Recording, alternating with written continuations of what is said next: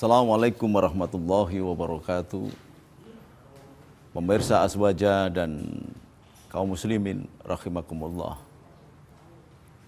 Wabil khusus jamaah Nahdlatul Ulama di Indonesia. Banyak orang meributkan sekarang ini dengan munculnya kelompok-kelompok Islam dengan aliran baru yang semuanya bermuara kepada kelompok Wahabi. Banyak yang melakukan kritik atas ritual dan tata cara ibadah yang dilakukan oleh jamaah Nahdiyin. Biasanya jamaah Nahdiyin itu dimunculkan dalam bentuk ahli zikir, ahli ziarah kubur, tahlilan, dan yasinan. Ini dianggap sebagai satu bentuk kurafat atau bentuk bid'ah. Nah apa sih sebenarnya yasin itu? Yasin adalah surat yang bagi orang NU diyakini karena banyak hadis menyebutkan yang barang siapa membacakan surat Yasin kepada seorang yang meninggal dunia maka akan diampuni dosanya. Nah, persoalan diampunin atau tidak itu yakfiru lima yasa wa yu'adibu mayasa bergantung dengan Allah sendiri karena innallaha fa'alu lima yurid. Allah itu mau bertindak terserah Allah sendiri. Nah, Yasin itu pernah suatu saat ketika menjelang Rasulullah mau hijrah dihalangi oleh kafir-kafir Quraisy. Setelah hijrah pertama, hijrah kedua mengalami kegagalan, maka kemudian Rasul atas undangan dari kaum Ansor di Madinah akan melakukan hijrah di Madinah. Nah, pada saat akan hijrah itulah sudah dijaga rumahnya. Kemudian Rasul meminta kepada adik sepupunya yang kemudian menjadi menantunya yaitu Sayyidina Ali karomallahu wajah Sang Haidar atau sing, terkenal dengan julukan singa padang pasir karena kelak kemudian hari Sayyidina Ali inilah yang mengalahkan orang-orang Yahudi Kaibar.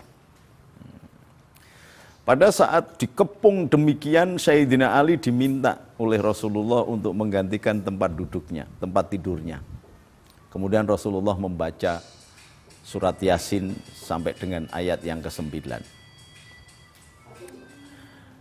Yang kitab yang demikian ini menjadi akrab. Yasin wal Qur'anil Hakim innaka laminal mursalin ala sirati mustaqim ila layub sirun. Kemudian Rasulullah mengambil pasir dan menebarkan pasir itu kepada orang-orang yang mengepungnya. Maka sebagaimana firman Allah, orang-orang yang mengepung rumah Rasul itu kepalanya seperti dipasang tembok di depan dan di belakang, tertidur pulas. Itu salah satu mukjizat surat Yasin. Sebagian ulama mengatakan bahwa surat Yasin adalah hatinya Quran. Maka sering sekali Yasinan itu dibaca di mana-mana. Hanya memang harusnya yang paling bagus tidak hanya surat Yasin saja yang dibaca. Maka biasanya setelah Yasinan atau sebelum Yasinan diawali dengan tahlil. Nah, tahlil itu dilakukan dengan warodili Qur'ana tartilan.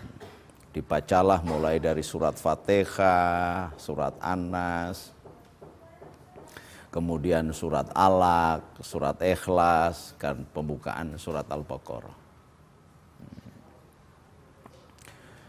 Setelah itu baru membaca Yasin. Nah, kalau kita melihat bahwa sekarang ini menjadi kebiasaan yasinan atau tahlilan. Rasulullah dulu apa pernah melakukannya? Pernah, tetapi tidak dengan rangkaian begitu. Ini kan karena para wali songo merangkaikan bahwa setelah ketika mengadakan doa kubur, doa apa, doa macam-macam diawali dengan pindah rumah atau apa diwajali dengan tahlil. Rangkaiannya itu. Karena apa? Tidak bisa membaca Quran penuh sekurang-kurangnya membaca surat-surat yang ada di dalam Quran. Itulah gunanya Yasin. Apakah kemudian kalau membaca Yasin saja semuanya tercapai? Terserah Allah. Kita enggak berdoa pun Allah sudah mendahulukan karunianya. Apa seorang bayi itu bisa meminta atau mengirim surat kepada malaikat Mikael untuk minta telinga, minta hidung, minta tangan? Tidak. Allah mendahului karunianya. Bahkan kita bisa sholat, kita bisa rukuk, kita bisa makan, kita bisa berjalan. Itu Allah yang menggerakkan. Oleh sebab itu kita ada panggilan, Khaya ala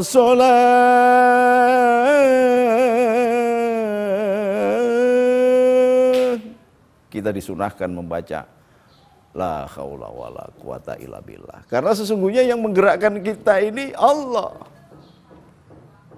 Hatta Rasulullah sendiri melakukan Isra wal Mi'raj, maka firmannya diawali dengan subhanalladzi asra bi abdihi lailam minal masjidil haram ilal masjidil aqsa. Jadi Allah yang memperjalankan, bukan Rasulullah yang jalan.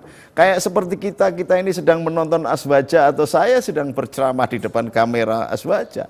Ini karena Allah yang menggerakkan. Kalau tidak, tidak mungkin. Jadi membaca firman Allah, syukur bisa satu hari katam Quran. Tidak bisa seminggu, tidak bisa sebulan, tidak bisa setahun. Kalau tidak bisa sekurang-kurangnya ada waktu-waktu kita yang kosong kita isi dengan membaca Quran. Caranya bagaimana? Karena kesibukan yang luar biasa begini. Tidak mungkin kita menyempatkan diri, apalagi kehidupan di kota besar. Kayak di Jakarta, di Surabaya, di Medan, di Semarang.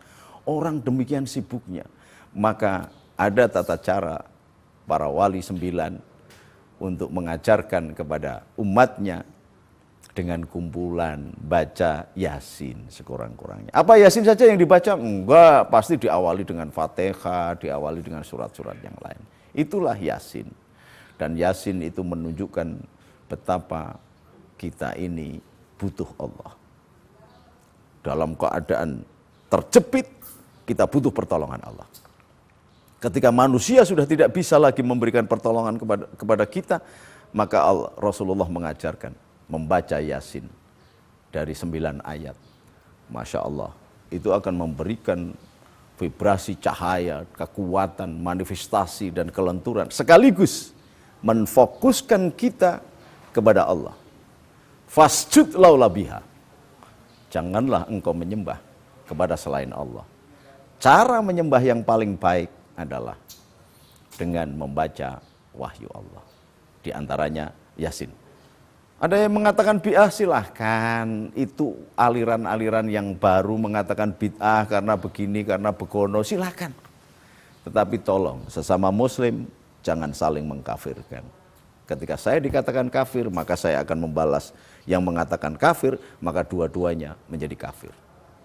Rasulullah mengatakan jangan hina Tuhannya orang lain. Bahkan orang lain pun kita tidak boleh menghina. Jangan hina Tuhannya orang lain.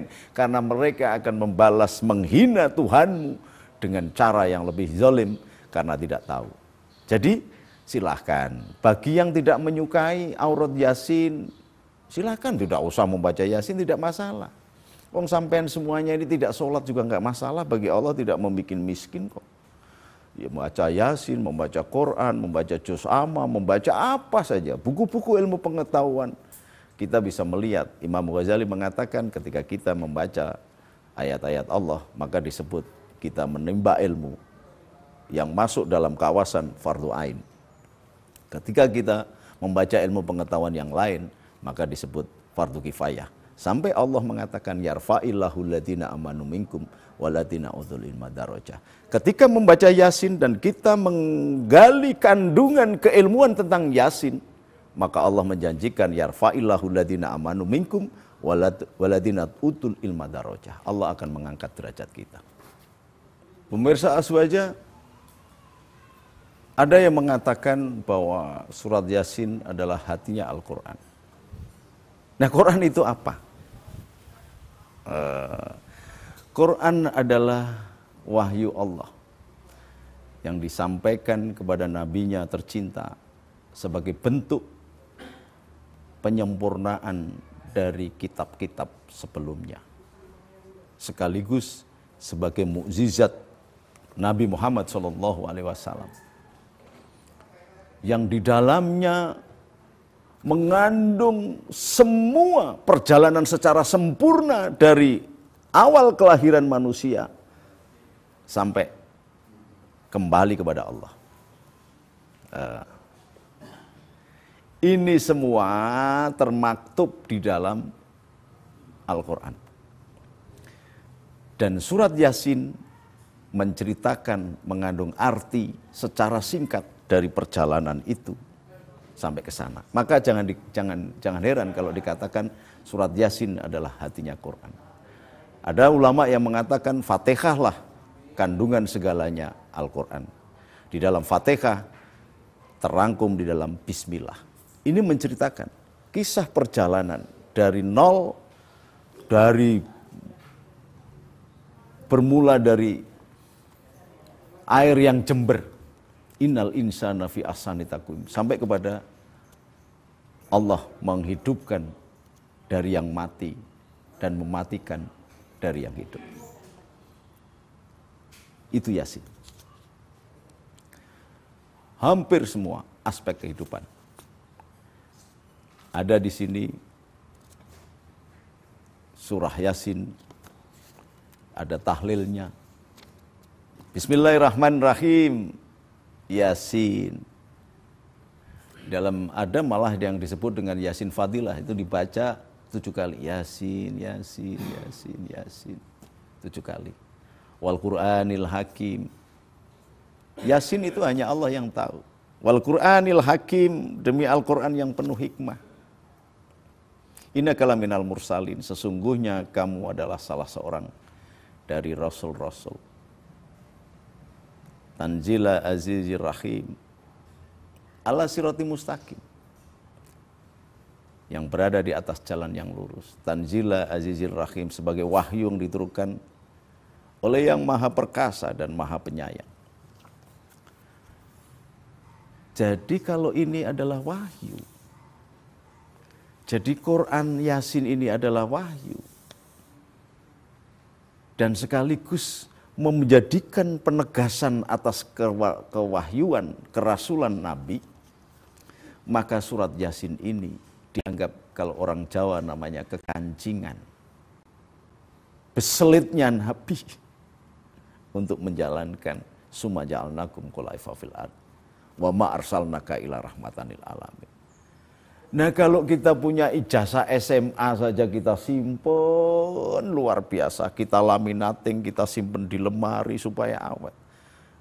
Nah kita membaca ini adalah pentasbihan atas Nabi kita sebagai penyempurna agama. Maka di sinilah intisari dari Al-Quran. Karena disebut Nabi dari kata an-naba, pembawa berita. Membawa berita apa? Berita kebahagiaan.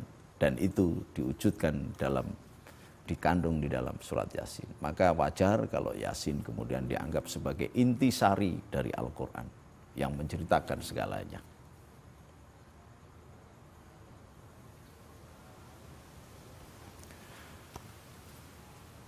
Pemirsa yang terhormat, suatu saat ketika saya sedang melakukan umroh, karena Alhamdulillah saya setiap tahun memang umroh.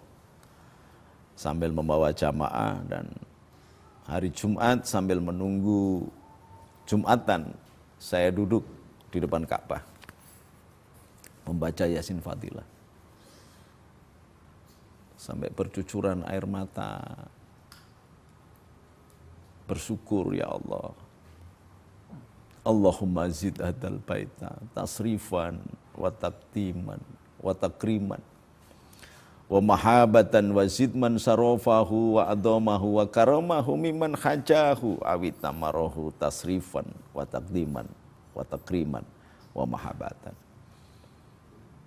Saya kemudian membaca itu menetes air mata sambil berdoa ketika sampai salamun qaulami rabbir rahim saya berdoa Allahumma siruhu nuruhu fi siri wasiruhu fi khalqi. Allahumma nuruhu fi siri ya Allah yang cahayamu. Engkau sembunyikan. Allahumma nuruhu fi siri wasiruhu dan kerahasiaanmu itu engkau masukkan ke dalam kerahasiaan makhlukmu Allahumma nuruhu fi syiri wa siruhu fi khalqi. Akhfina an uyuni nadhirina wa taghina qulubil hasidina wal bagina kama afaita ruha fil jasadi. Innaka ala kulli syai'in qadir. Ya Allah yang nurmu engkau sembunyikan engkau rahasiakan dan rahasia-rahasiamu engkau masukkan engkau simpan di dalam tubuh makhlukmu maka mohon ya Allah tutuplah kesalahan kami, kelemahan kami, rahasiakan keburukan kami, sebagaimana engkau menyembunyikan ruh di dalam jasad kami. Karena siapa sih manusia yang sempurna? Yasin mengajarkan doa itu. Pengakuan atas kelemahan kita, pengakuan atas kekotoran kita di dalam doa setelah membaca Yasin. Masya Allah, keajaiban ini tahatus bin nikmah. Saya melihat betapa roh, tidak tidur, nunggu dan sebelah-sebelah saya santri-santri saya juga ikut nangis membaca kandungan dan doa Yasin. Siapa sih yang tidak merasa kecil di hadapan Allah dan di Ka'bahnya Allah? Runtuh kesombongan kita. Pengakuan atas dosa-dosa kita. Selama ini kita menjadi pemimpin tidak pernah bisa berbuat adil. Kita menjadi ulama tidak pernah menyampaikan ilmunya dengan benar dan bermanfaat. Bahkan kecenderungan kita suka menjual belikannya. Kita menjadi suami, kita menjadi istri, kita menjadi anak, tidak bisa berbakti kepada orang tua. Kita menjadi rakyat hanya ribut saja dan demo kepada pemimpinnya tidak pernah melakukan pendekatan dan mengingatkan padahal sebagai tugas ulama adalah afdalu jihad kalimatul hakin indah sultan cair. Di dalam Yasin terrefleksi semua kita baca dan kita di hadapan Allah menetes air mata. Kita melihat seberkas cahaya dan saya lihat, masya Allah, saya melihat Rasulullah sedang tidur. Jadi kalau ini Ka'bah, di sini ini adalah uh, makom Ibrahim, Rasulullah di sebelah sini ya, di sekitar di tempat di mana dulu bekas sumur jam-jam, sedang tidur. Gitu. Dalam hati saya, wah Rasulullah sedang tidur. Saya mau marani. Lalu ada semacam suara, Gus jangan dibangunkan Rasulullah masih istirahat. Aneh, suara itu kayak suara yang saya kenal.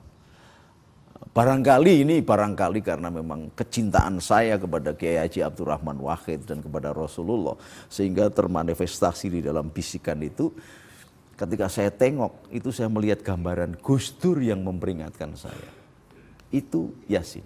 Jadi kalau engkau kepingin ketemu Rasul, bacalah Yasin. Engkau akan menemukan Rasul dalam mimpi atau dalam bentuk nyata.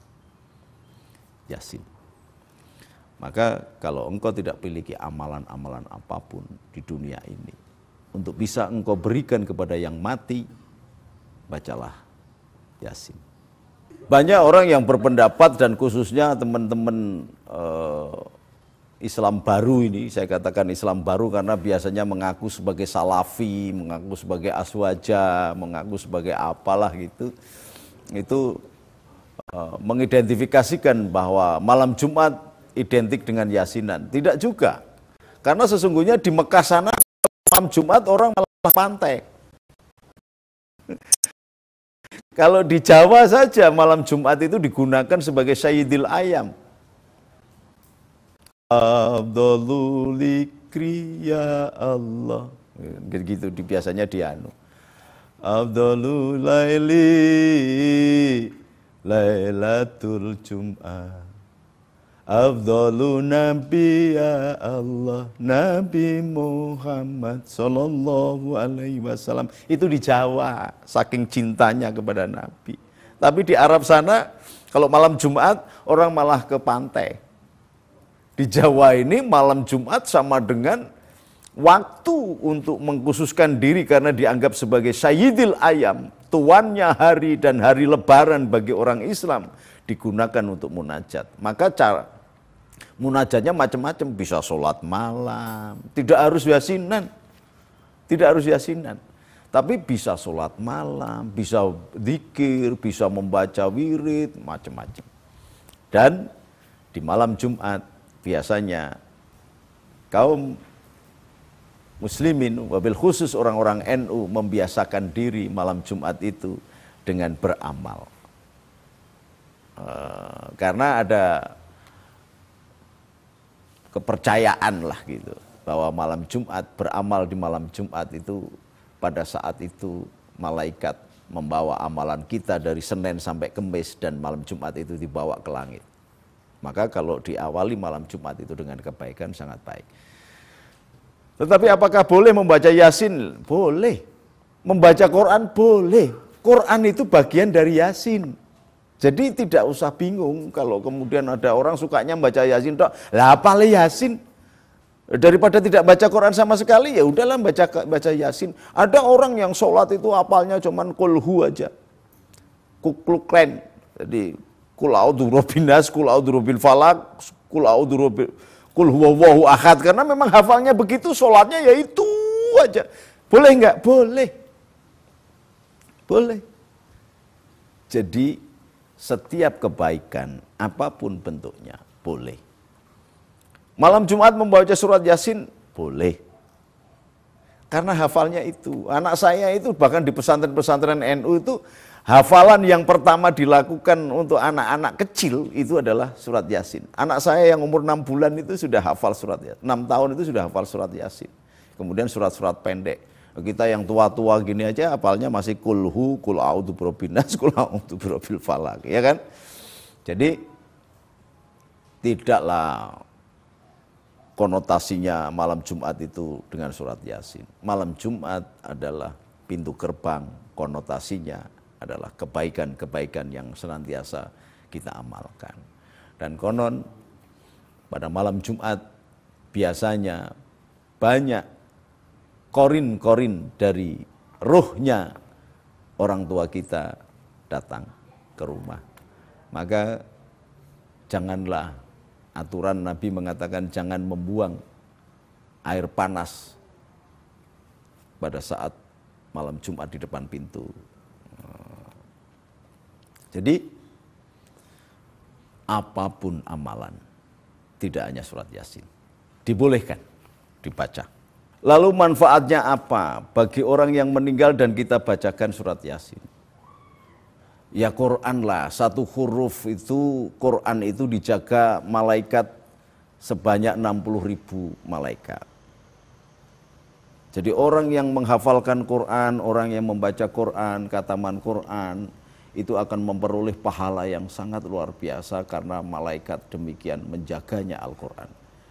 Inna nahyu nazal dzikra wa inna lahu lahafidun. Nah, kebiasaan kita beramal itu biasanya mengukur dengan pahala-pahala. Ini sesungguhnya saya kurang setuju. Sudah baca aja ikhlas dikirimi surat al surat-surat dalam Al-Qur'an entah Yasin, entah apa. Tidak usah dihitung pahalanya berapa, pahalanya berapa. Itu kan amalan-amalan yang karena mental kita beribadah kepada Allah karena mental kuli saja.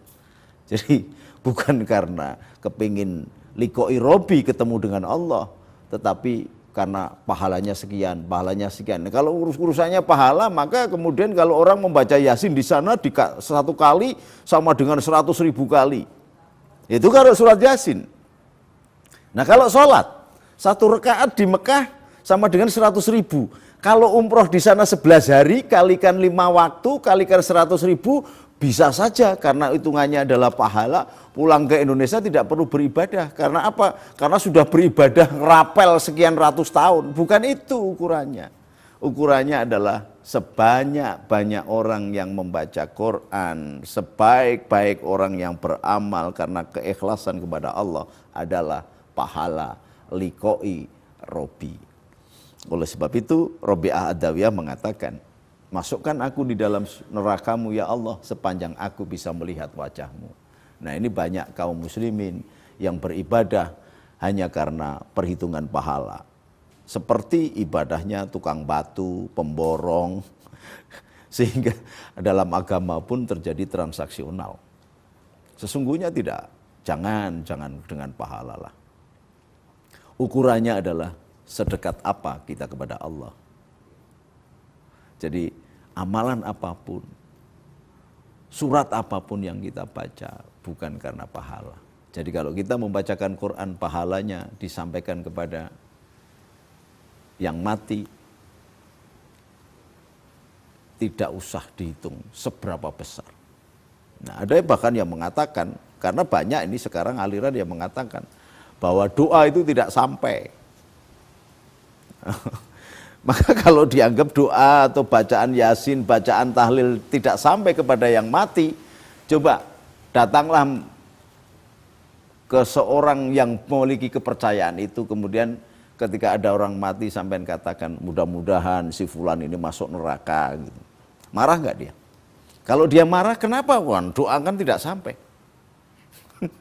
Maka banyak orang yang menafsirkan ingkoto amalu ala bani Adam.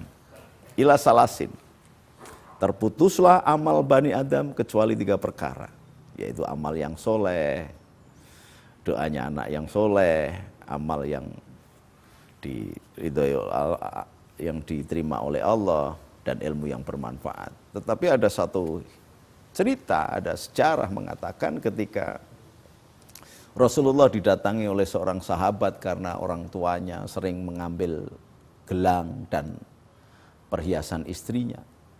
Lalu sahabat ini melapor kepada Rasulullah, ya Rasulullah orang tua saya sering mengambil perhiasan istri saya. Maka Rasulullah ketika itu langsung meminta agar orang tua itu dipanggil di hadapan Rasulullah. Akan dimarahin oleh Rasulullah. Tapi buru-buru malaikat Jibril mendatangi dan turunlah ayat. Wa insana biwalidaini hamalathu ummuhu wahnan ala wahnin wa fisaluhu fi amaini anis kurli wali walidaika ilayal masir. Uh, di sini rahasianya. Jadi yang namanya doanya anak yang soleh itu bukan hanya doa saja. Tetapi ikrar bilisan, tasdik bil kolbi, amal bil arkan. Ketika doa itu hanya ikrar, berarti sepertiga. Tasdik bil kolbi bahwa di sini ada rojak yang bahwa doanya akan sampai itu dua per tiga.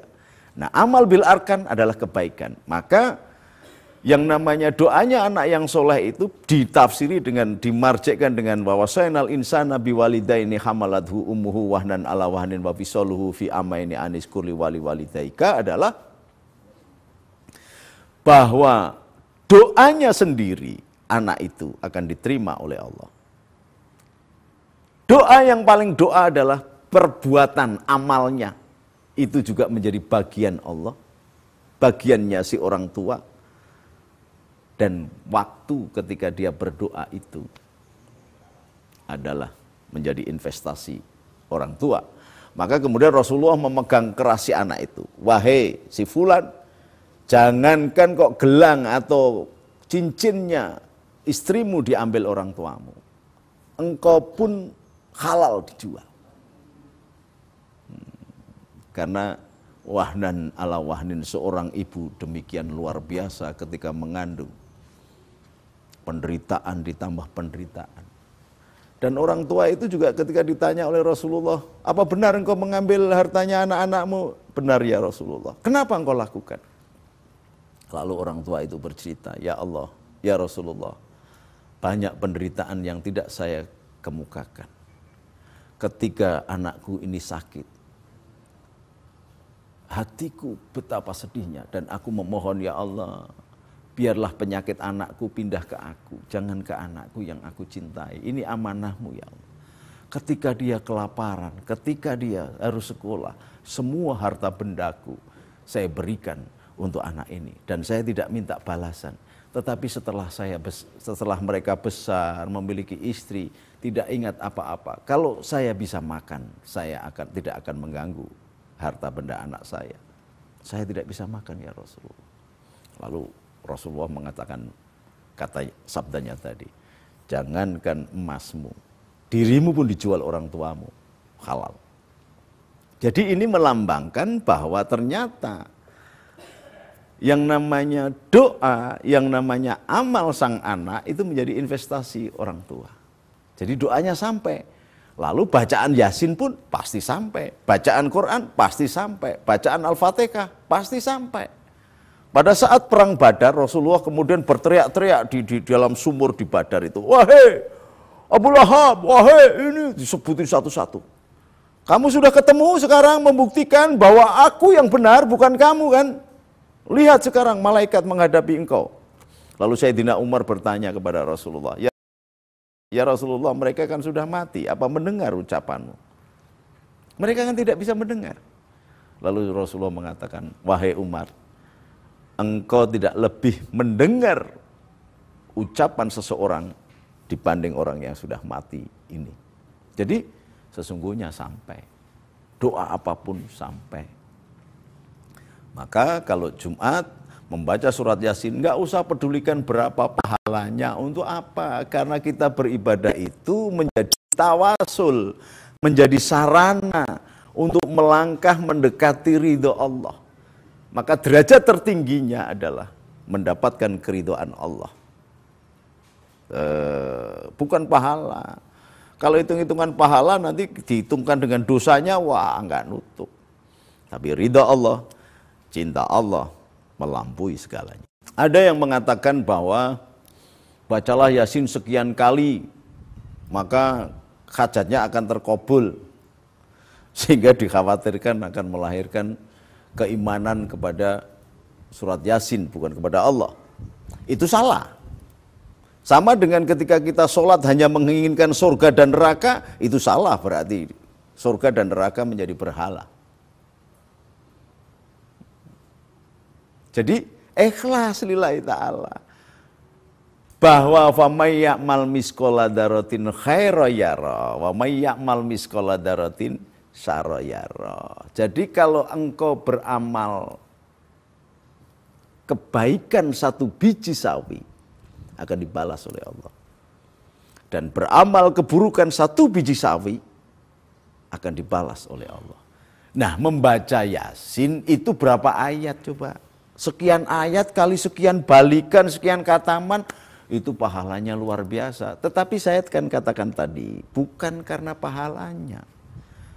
Tetapi kalau kita melihat anak kita yang senantiasa ngepel, menyuci baju, membersihkan ruangan, melakukan kebaikan, pasti saya akan melihat ini anak baik, maka akan aku berikan. Sesungguhnya karunia Allah itu jauh lebih besar dari bacaan kita dari sholat kita. Kalau kita menentukan ini akan melahirkan begini, maka akan ada aturan. Kalau ada aturan seberapa banyak engkau berbuat baik, lalu engkau tuntutkan kepada Allah, maka akan ada aturan. Harus dituntut kefasehan, dituntut kesucian, dituntut keikhlasan. Tidak bisa, nggak ada amalan yang ikhlas. Maka kita tidak akan menemukan apa-apa. Wala yukbalu amalu fihi midadarotin minaria. Tidak akan diterima amalan yang di dalamnya tidak ada keikhlasan. Jadi mau berapa-berapa keyakinan begitu itu menjadi tawasul. Karena Allah menurunkan wahyunya. Di antaranya surat Yasin, maka kita membaca wahyu itu supaya apa? Supaya melenturkan hati kita, melembutkan hati kita, kemudian berpaling kepada Allah, memasrahkan diri, bacaan sekian kali ini melahirkan konsentrasi. Ketika konsentrasi melahirkan kekhusuan, kekhusuan melahirkan kepercayaan yang tinggi kepada Allah karena membaca Yasin. Jadi bukan Yasinnya, yang memberikan sesuatu, tetapi Allah sendiri. Bahkan ada orang yang tidak berbuat apa-apa pun kalau Allah memang mau membukakan ridhonya nggak masalah. Ada suatu saat di zaman di zaman Dunun al Misri ada, ada seseorang yang ahli maksiat. Dia hanya menemukan tulisan Bismillah, kemudian Bismillah dikasih minyak disimpan di dalam kupluknya. Setiap kali dicium, dikasih minyak, mendatangkan keridhaan Allah. Jadi innallaha fa'alu lima yurid. Allah itu dalam bertindak terserah Allah sendiri. Ada hukum tersendiri yang tidak ada paksaan dari yang lain. Itu kemerdekaan Allah. Maka bahwa ini membaca ini itu karena pengalaman ada orang membaca Yasin sekian maka kemudian keperluan-keperluannya dikabulkan oleh Allah. Wong tidak membaca Yasin juga juga dikabulkan kok apa harus membaca Yasin? Enggak kan? Ada yang membaca surat Ikhlas. Wow, kalau di pesantren-pesantren membaca surat Ikhlas itu kenapa? Karena surat Ikhlas itu dijaga oleh malaikat jumlahnya kelihatan. Di Aras itu ada 16.000 sudut. Setiap sudut itu ada berpecah lagi jadi 16.000 sudut. Dan setiap sudutnya ada 16.000 malaikat. Semuanya membaca surat ikhlas. Jadi 16.000 kali 16.000 kali 16.000 berapa berapa miliar itu. Itu membaca surat ikhlas. Yang kalau ada orang sedang membaca surat ikhlas, maka pahalanya malaikat ini diberikan kepada orang yang membaca surat ikhlas. Jadi tidak hanya yasin. Jadi harus berapa kali bilangannya terserah hatimu karena itu yang menjadi parameter adalah hati. Hati adalah cermin pahala dan dosa manusia. Maka sebanyak-banyaknya zikron kasiron. Kalau surat Yasin dimaknai sebagai zikir, maka jadikanlah surat Yasin itu zikirmu sebanyak-banyaknya. Tidak harus pakai ukuran berapa kali, berapa kali, berapa imbalan, berapa imbalan. Bahwa terkabul atau tidak terkabul, itu terserah Allah. Kita punya hak untuk berdoa kepada Allah. Lantarannya, tawasulnya dengan membaca Al-Quran, membaca surat-surat, membaca ayat-ayat Allah. Bahwa diterima atau tidak diterima, dikabulkan atau tidak dikabulkan, diberikan balasan atau tidak diberikan balasan, Allah yang berhak. Tetapi Allah pasti akan memberikan balasan sekecil apa pun amalan kita, karena Allah Maha Adil. Hmm, jadi nggak usah pakai ukuran berapa, nggak usah pakai kepercayaan begitu. Pokoknya sepanjang kita ini DP DP kepada Allah kalau Yasin itu menjadi sebab karena kebiasaanmu, karena engkau hafal surat Yasin dan engkau suka membaca Yasin dan itu menjadi jalan untuk menuju kepada ridhonya Allah, why not? Silahkan. Tetapi jangan dianggap bahwa hanya sekian kali melahirkan ke, ke sekian, sekian itu biasanya para wali, para ulama itu mengerti titik konsentrasi kita. Membaca Yasin lebih dari tiga kali biasanya kita sudah sudah kusuk maka di situ itulah titik leburnya. Maka membaca ayat ini sekian kali itu bukan harus dibaca aturannya begitu enggak. Ini titik leburnya. Eh, satu kali, dua kali, tiga kali biasanya belum khusyuk. Nah setelah sekian kali khusyuk itu titik didih kalau dalam bahasanya kimia. Jadi baca aja sebanyak-banyaknya sebagai bentuk dikiron kasiron. Nah, bahwa kemudian kok melahirkan keajaiban masing-masing orang memiliki pengalaman sendiri-sendiri. Pada tahun 1990 saya difonis dokter umur tinggal 6 bulan karena saya kena liver dan gula. Bahkan suatu saat di zaman Gus Dur masih hidup, Gus Dur itu gulanya 700, saya 650.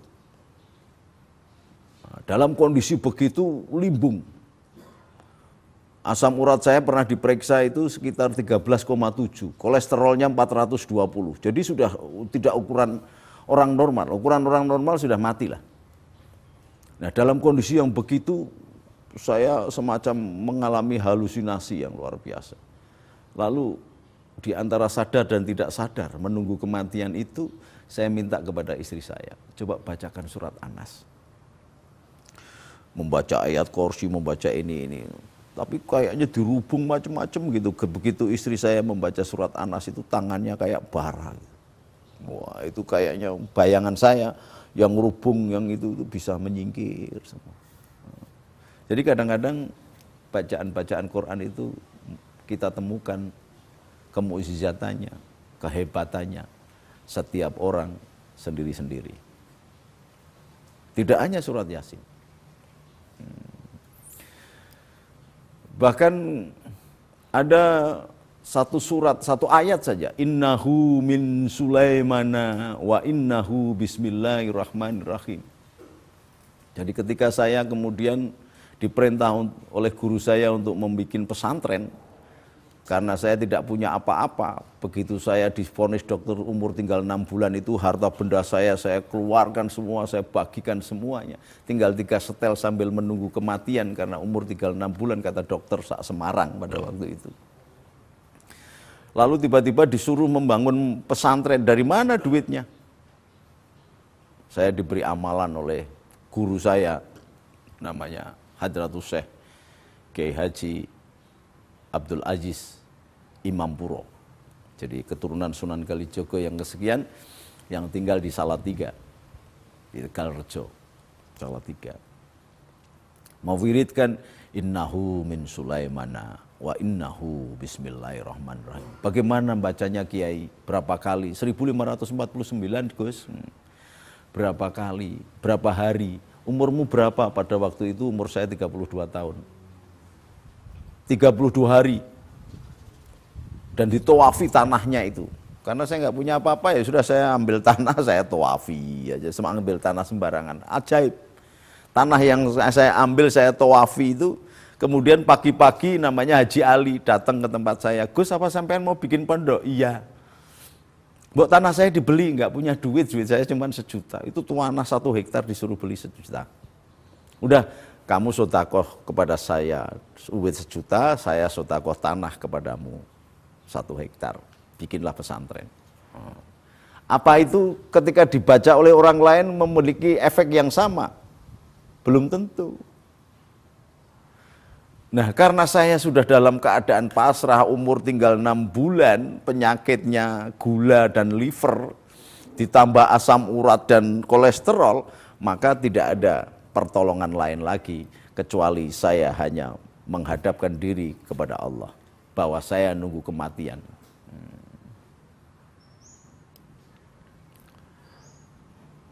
Kemuliaan surat Yasin.